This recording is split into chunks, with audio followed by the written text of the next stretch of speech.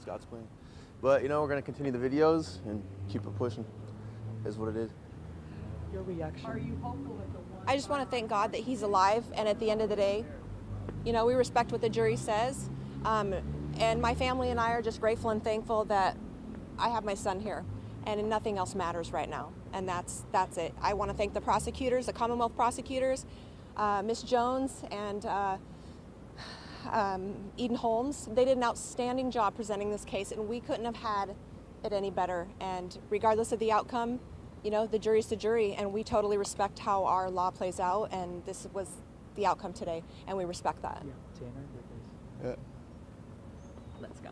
No, Just real quick, um, just uh, Tanner, you said you wanted to. What's your message to the people who might have a question about your content itself? Um, I don't know. Guess we'll just have to keep watching.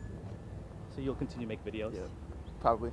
We'll see. You know, How disappointed are you about this? I really don't self-defense care. I mean, it is what it is. It's God's plan at the end of the day. So, you know, And for your mom, how are you dis- uh, as far as opinion about his content on YouTube? Do you agree with it? I support Tanner in whatever he decides to do, and I'm going to continue supporting him. Yeah. How hard was it for you to watch that video again? I know you had to step out.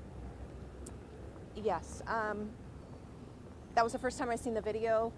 Um, no mom wants to see their son be shot by a complete stranger in an occupied place. It was very shocking and um, very heart wrenching, and that's why I, I, I had to step out. Last question. What's your message to Alan Colie?